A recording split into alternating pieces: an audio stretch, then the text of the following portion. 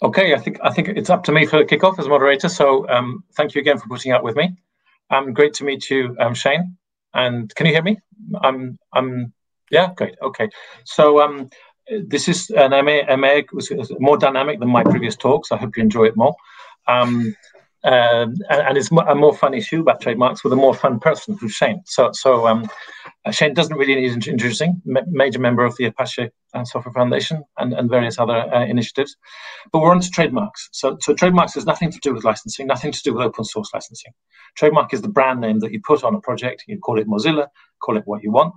Um, and but what trademark law does is, if you register the trademark, and, and in some places unregistered marks, but not let's not have a fight if you register the trademark, yeah, exactly. You you get you get uh, uh, you get monopoly right to use that name um, for the specific uh, uh, products and services that you that you you register it for. Okay, in the territory where you so it's it's territorial. It's not international. It's for a specific set of uh, products and services, uh, and and it gives you the monopoly. So you know, obviously, Mozilla Foundation has the monopoly of using the Mozilla um, brand name uh, which cause all sorts of problems with uh, Iceweasel and, and Debian and all that, uh, because it does give them control over use of the brand, and um, and it doesn't protect code, it doesn't protect patent functionality. What it protects is the reputation and the image um, and the identification of of that brand with that entity and that product. So that's just the intro. That's the legal bit. And now handing over to, to Shane to say, because actually this does impact uh, open source because obviously all our open source favorite projects all have trademarks. They all have funny logos you know with blowfishes and, and feathers and all sorts of thing. So they're an important part of, of recognizing who we are and, and you know being part of this community. Shane over to you.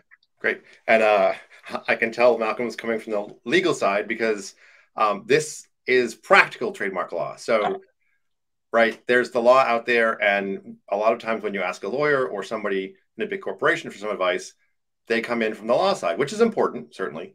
But for a lot of us in open source projects, especially community led ones where we're volunteers, uh, what's important is practical advice. So before we entertain questions, which I'm hoping we'll have some, um, I, I, know we will already, um, I wanted to talk about in terms of if you're an open source group or if you're a commercial company looking to partner with or use open source, like, you know, we have, we've had plenty of discussions um, there are some practical questions about how open source needs to think about it. And these are, um, you know, there are a lot of legal details that often volunteers don't really have the capacity or time to deal with. But these are practical things that if you can update your website, if you can answer your emails, these will help you get ready to defend your mark or to properly use other marks. So the first one is consistent marks. So as engineers, we often use um, you know, we often use code names for our projects and for different releases and talk about all the cool code. But what's really important, as Malcolm said, is, is the trademark, is the brand that you present to the public, that everybody else knows how to find you. So the most important thing for any project, I think, is to use your names consistently, right? Call it Mozilla Firefox and don't have a different name in there or don't have version names and use trademark symbols because those help show other people that you're serious about your trademark belongs to your organization. So that's the first practical step, right? That you can do that without a lawyer. Just update your website to be consistent in terms of how you talk about your own brand. Um, another key question that's different for open source versus corporations, usually for community projects, let me rephrase that, or foundation projects, is what's your organization's reputation in the larger ecosystem? So when you know Oracle or Microsoft go out with some product, they have a huge reputation along with plenty of lawyers, right? So they don't need to worry about people trying to misuse their brands because they know that they'll be able to, def- to defend them.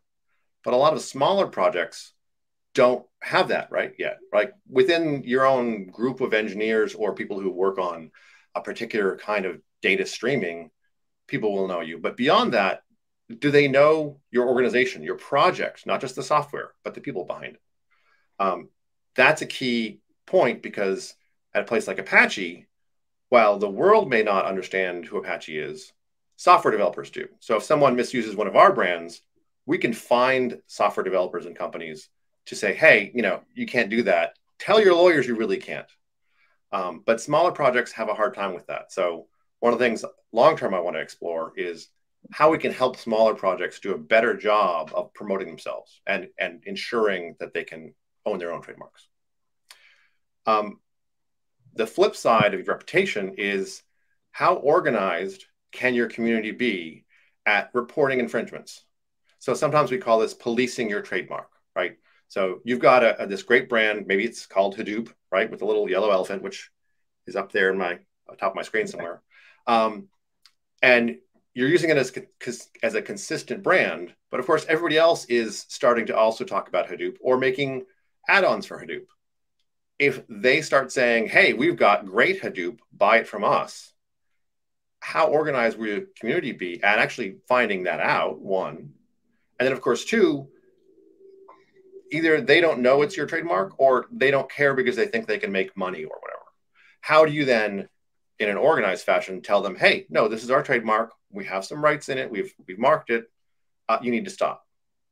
So that's a key thing our communities are often good at you know ensuring the build is still running and that when the the, the build pipeline has a failure we fix that or um, answering user questions but our communities aren't as good at having leadership um, or even the people to be organized following up on these things um, in particular when you when you talk to a corporation about misusing your brand you're often going to be talking to somebody who is not an open source person and they're going to say who are you? Why should i care? Um, so it's that's a key question is does your community have the capacity to really go out and police your marks? So uh, earlier malcolm mentioned registrations. So registrations are great. Um, they are an official way that various um, national governments have a, a registry of trademarks and what the trademark is for a specific product whether it's you know, clothing like Hawaiian shirts, or whether it's software, whether it's cars, and who the source of that product is. Right, a trademark is about people understanding that Hadoop software comes from Apache. Right, so if you can get a registration, which doesn't require a lawyer, but they certainly help, um, then you have much much stronger rights than if you're simply using a cons- consistent name and calling it your trademark. And of course, um, as Malcolm also mentioned, this varies by country. So we have a bunch of countries that are first to file, where whoever files with the National Registry for a trademark will typically get it first. We also have countries like the US, which are first to use. So in the US, if you are consistently using a name for your software, you can accrue common law rights. And, and those are, will be valuable if you have to sue somebody, which we hope you never have to, because that's not a fun thing. Um, a key thing here is if you're a smaller project, um, it's worth exploring trying to get a registration. If you're if you know what your brand is and you know you can sort of support being consistent with it, um, it doesn't need to be that expensive. Um, in many countries, you can actually file without a lawyer, and it's only you know several hundred dollars. Um, if you can afford a lawyer, it certainly will make the process much easier, and of course, will reduce risk because just filing for a registration doesn't mean it'll be granted. Um, once you file, it will take anywhere from three months to probably three years uh, to actually have it granted, presuming, of course, nobody complains. Um, but they're like insurance. And the trick with insurance is you won't need, know that you needed it until it's too late. Um, because it is a much, much stronger defense uh, against someone trying to misuse your brand. And the last important question is don't go to court because for any of us here um, in a community open source project, right? Um, for anybody, you know, except possibly for somebody at the Linux Foundation because they're pretty big in terms of a foundation-led project. Uh, if you're going to court, you've already lost. You've, you've lost too much money in legal fees.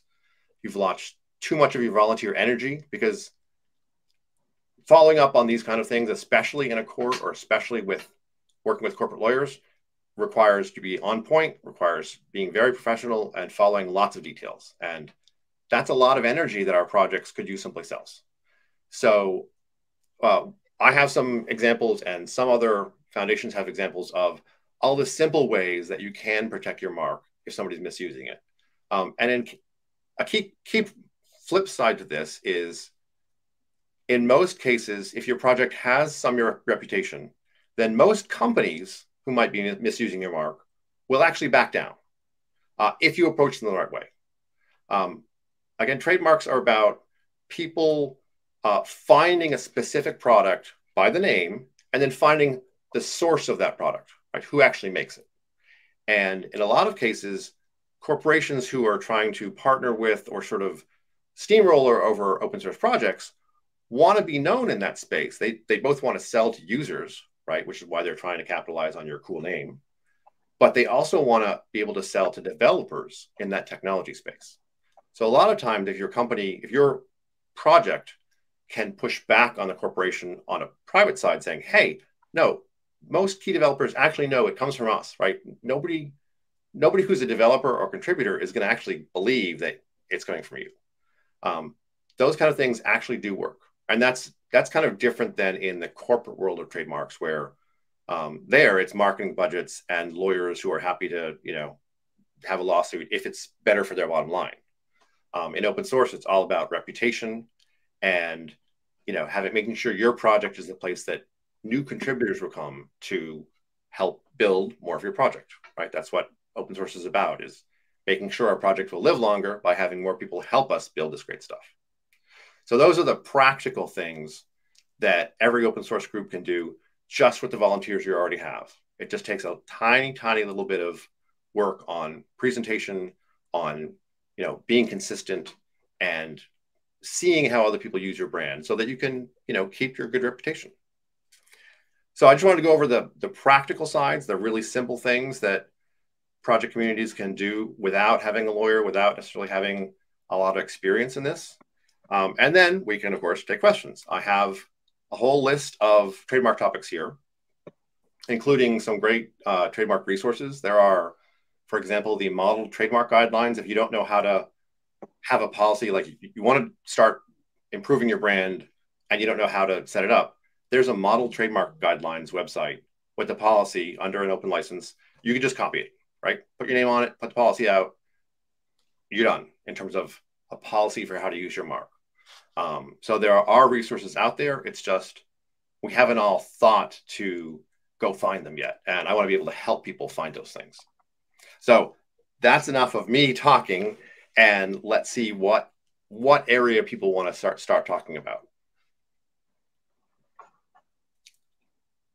I'm just checking on um, the chat here. Yeah, if, if there are no questions, can I ask you a practical questions? Because you know, I've, I've obviously, um, I, I, also disagree totally with what you say about not having lawyers and not giving us work and everything. You know, poor lawyers destitute. Oh yes, oh yes. It's a recipe, uh-huh. yeah uh, yeah, you're a Shakespeare believer, you know, kill the lawyers, whatever. No, I, I, I, agree with you. Anything you can do to avoid legal legal transaction costs in an open source community is is good because um, I, you do need legal quality there, and the whole idea about open source is is, is to be, uh, you know, easy easy. Quick question here: What's the what's the line, or is it easy, or is it easy for projects to see the line between permitted uh, non-commercial use, like making reference to something, and non-permitted commercial use. So I mean, the hundreds of people who are Hadoop yeah. consultants, they have expertise in Hadoop.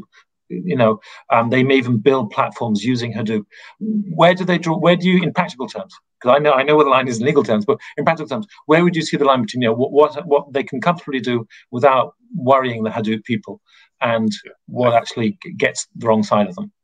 I think we talk about that on here. So essentially, on the legal side, the, the question is the likelihood of confusion, right? Is yeah, exactly. some other consultant is making this great um, Hadoop speed up product and they they use Hadoop in the name.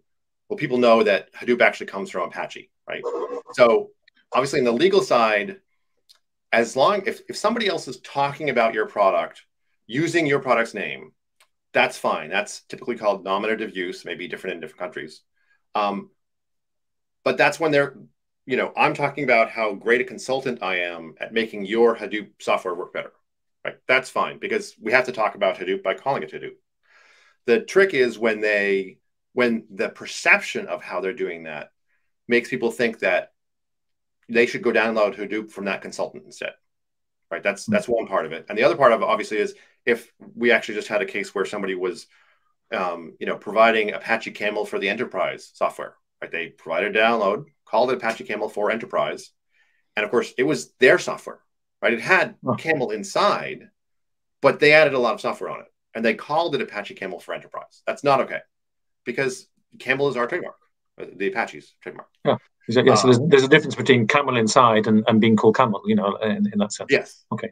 Yeah. Um, so infringement uh, is when somebody's using a trademark that will cause confuser, con- consumers, like somebody who might want to download the software or use it, to understand, to, to think that they're providing the software instead of us.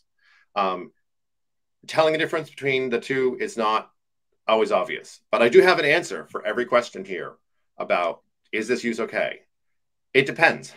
Yeah, of course. You're you're you're, you're like a lawyer. You're as bad as we are, Shane, in, in that sense. yeah. Okay, Between um, economists, because economists and lawyers, we all just say it, it all depends. Um, you mentioned the, you uh, mentioned, but the no, yeah, the, I had a follow up. So the the the the two things that uh, important things there are one is does the open source project have a policy about this?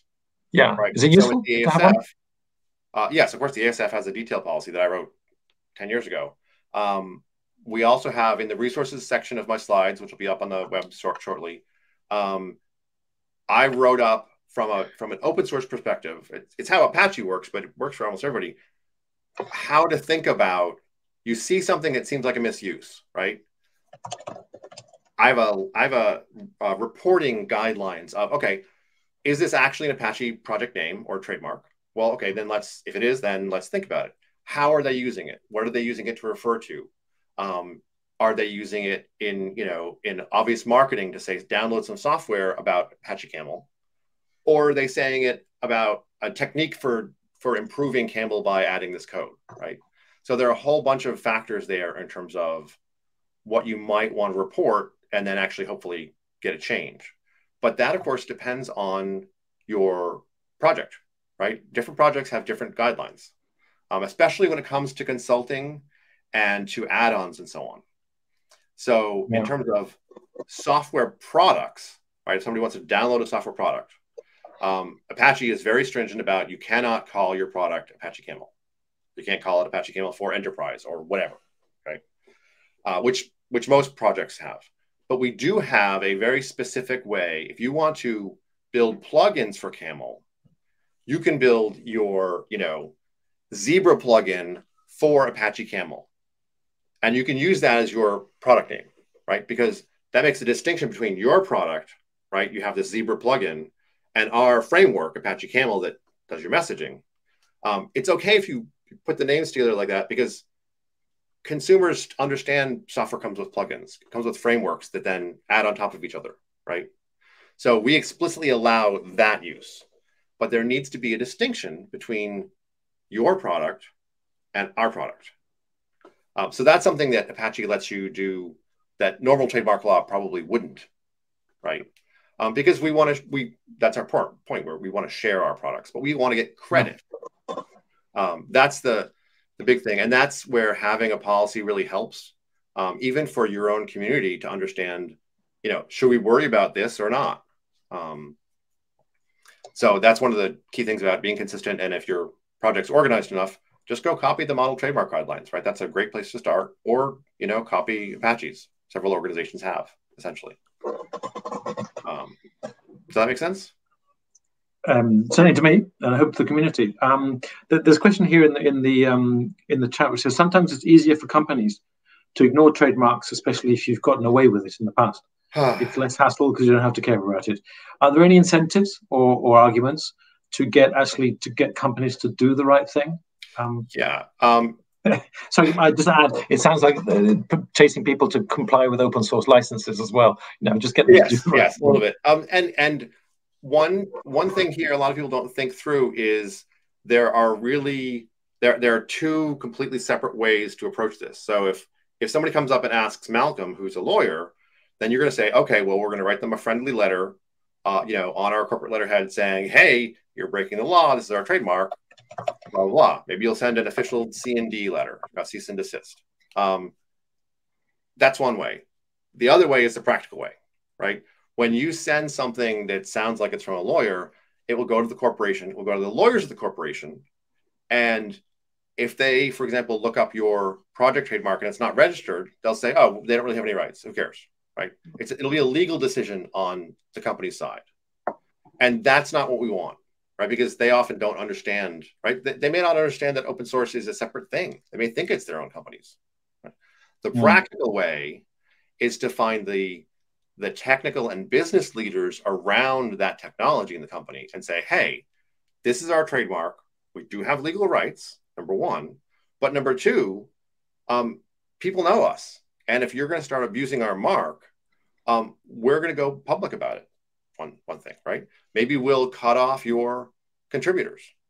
So the it's it's very very rare, but one of the um, sort of uh, nuclear switches at Apache is uh, especially not just for a simple trademark violation, but for for really complicated ones where a company really, you know, writes all this marketing that might not might not technically be infringing, but clearly is giving the impression that they run such and such Apache product. Yeah. Um, Apache at some point will say, you know, your company is not playing fair, and we have these legal rights, but we're probably not going to sue because it's not worth us. Um, but we're going to cut you out of the project, effectively right? Whether whether yeah. we do it publicly or privately, um, and and that you know once you get that message that hey we're happy as long as you fix it, but if you're not going to fix it, right, you need to give them time too. Um, these things don't aren't quick. Um, say hey you know the techno- technical community knows who we really are and and once we tell them about it they're not going to respect you right we're going to cut you off from all the shared benefits of having maintenance and bugs together so that's the other one is you really need to, but that again requires some organization in your project, right? You really need a project council that can say, okay, yes, this is a serious issue. We've contacted them privately. They still haven't fixed it. We need to think about, you know, what other levers do we have? And and they're technical ones, right? That the developers at that company will care because, right? Maybe their reputation is partly from their work in open source, the, the developers mm-hmm. themselves. And the other one is really it's the the product manager for that commercial division, right? Whoever is making the business decisions, you get the senior technical person to go talk to the, the manager who's like, we can make, you know, more ROI on our product if we capitalize on this name. And the technical person talks to them, not the lawyer, and says, uh, no, we're going to lose the reputation long term. That's the right place to make that kind of thing. That, that's one of the issues with open source versus corporations is uh, the legal path is going to be too hard for us to really go through on in most most cases. Okay, that, that's true. Um, on a more positive way, um, uh, it's it's actually. I mean, there's so many people have so many trademarks these days. Is there a practical and easy way for someone choosing a name for their project to to avoid all the pitfalls of of you know someone choosing another open source project's name or, or even a commercial even worse a commercial project's name do you have kind of like practical recommendations about how to go choose your name your project's name Is yeah there, we actually other... have um, i keep thinking i should sort of tweak the documentation and make it generic and just give it out um, we have a, a, project name search policy at apache right so any new project that comes to us whether they're existing with the name or not uh, proposes their name they, they actually put it in a jira ticket um, which is actually public. Um, and then there's a there's a step for that that volunteer community, right? So they're they're not lawyers. They're not going to have a lawyer. Will essentially, you know, do the simple web searches, right? Look through GitHub for other common places you'd find the name, right? Number one, and then number two, do a very basic, um, at least USPTO, U.S. Patent Office, at Patent and Trademark Office, search on the name, right? We don't do an exhaustive search um, because our volunteers aren't going to have the usually won't have the exper- expertise to do that and we're certainly not going to pay a lawyer for you know each of our 200 plus projects um, because yeah. in terms of you know it, it, it depends a little on what your long-term goals for the name are right is this something you're going to make into a world dominating thing that you also want to make consulting money off of so it's really important or is this something you just want to get out there and you know find enough contributors to be able to maintain it long term. Um, so the key thing yeah. is not stepping on somebody else's toes, right? And the less important thing, which is different for corporations, is how strong of a name is it, right? Because usually, you know, there aren't that many really big trademark conflicts um, with most open source projects because they're mm-hmm. you know a little bit niche in terms of like the people really interested in the software are going to be technical and they'll understand the technical differences like right that corporations yeah in, in, my experience it's mainly actually when when an open source is by mistake chosen the name of a proprietary software because they're in the same space, and obviously that that, that causes problems. To just uh, uh, put my foot in there, the, the European uh, Trademark Registration Office, the IPO, has has got a great tool called TMView. If people want to look that up, yes, it does, um, and that which is worldwide because it includes Korea, Japan, all sorts of countries. Because you know, even even if you think that you're you know uh, an open source project in Germany, and, and you're only going to look at Germany trademark, that's wrong. You're you're on GitHub or GitLab or whatever. Your source yeah. is available in every single jurisdiction, which is a uh, you know, difficult to sort out. So it's actually quite a good idea to look at these, you know, these, this not just the US database. I'd go for TMView. It's, it's very easy to use. Put the name in there, see, see what else comes that up. That is a step in our process. Of the US, yeah, US cool. and TMView, and then that's essentially right. I mean, from from Apache's point of view, that's as much effort as we can really put out.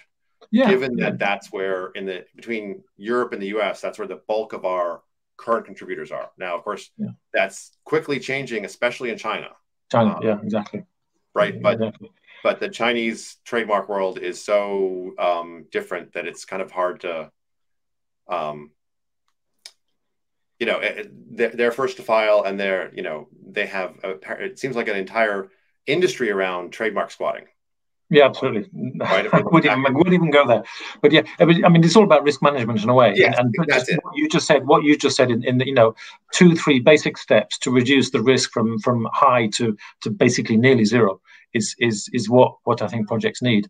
Um, yeah. in both in both in both the actually choosing the name and what you say about having a policy to to help the community understand what they can do and what they can't do. Yep. Um, it's and also then, useful. Look, yeah, along with the policy is then you know make sure your governance council your PMC, whoever, uh, you know, uh, review this at least once a year, right? So you're just you're thinking about your the actual symbol of your public reputation, right? Your trademark, your name, right? A lot of times people just don't think about it for a long time, and then something happens and they miss it. Or, as you said earlier, the the you know one of the biggest pieces of advice to anybody anywhere around open source, if we could go back in time for a year at any point in time, saying when you're starting a new thing, whether it's commercial or not, think about the difference between the product name and your company name, right? Yeah, exactly. You might want to open source it later. You can't have them be the same. I mean, you can, but you won't get any respect in the community, right? Yeah, well, in, in the Hadoop, you know, Cloudera had this big debate, you know, because they were, you know, one of the big commercial names, you know, on on, on Hadoop, wasn't it? I mean, that's kind of a practical example of of this distinction um, between the commercial service and and, and don't and forget Hortonworks, the other half of that. Yeah, the other one exactly. Um, yeah. The other ones. Yeah, yeah, yeah. Um, just just a final point. What happened between Mozilla and Iceweasel? Can you give a story there? What what, what happened with uh, in Debian and and I think it's Debian. And, yeah. Um, essentially, Debian has the um, the not, what's the the the actual name? It's ethical guidelines. So they of course want to be open source, but they also have a few other conditions in how they think about things. I'm drawing a blank yep. on specific the Debian, the, the Debian free something guidelines. I'm trying to remember as well because this has yeah. been a while since then. yes. Um, so essentially, they wanted to. Um, I think I think it was really about like some of the logos where they wanted to enforce those, um, and they came out with their version of Mozilla on Debian, and Mozilla's like, no, you know, you have to do our logo and and these things consistently, and Debian's like, okay, we'll just call it Iceweasel. Yeah, well, um, which is, is this you know, about freedom freedom to modify yeah? I mean the, the problem is is this debate about freedom to modify. Can you modify it to such a extent that you're taking the name off it? Um yeah. And that's the you know the, the key thing.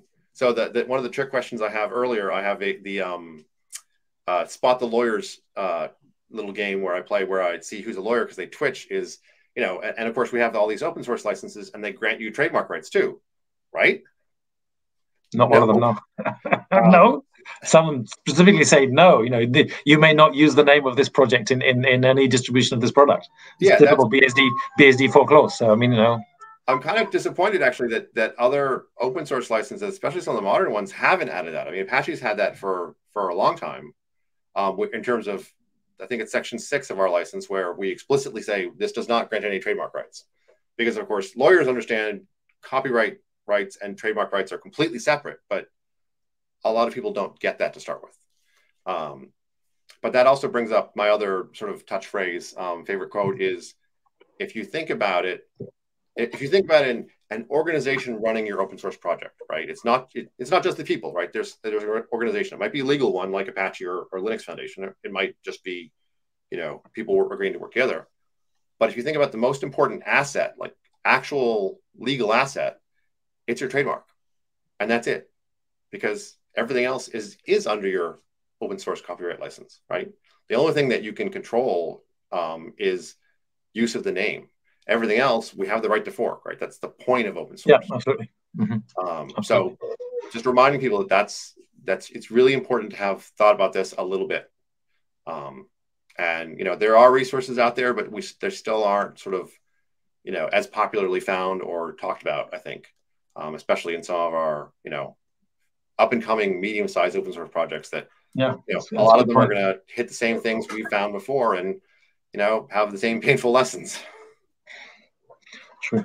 Okay well um i think time is up because i'm seem to getting some pings here. Is, is that right? Um it's been great talking yep. and, and and working with it and i think maybe we can collaborate to get some of these resources into the into the, the more, more visible. Um i think yep. it'd be great great to help out projects and and um to do that yeah, I have a resources page in my slides, and I will go over to the breakout room and post a couple of links.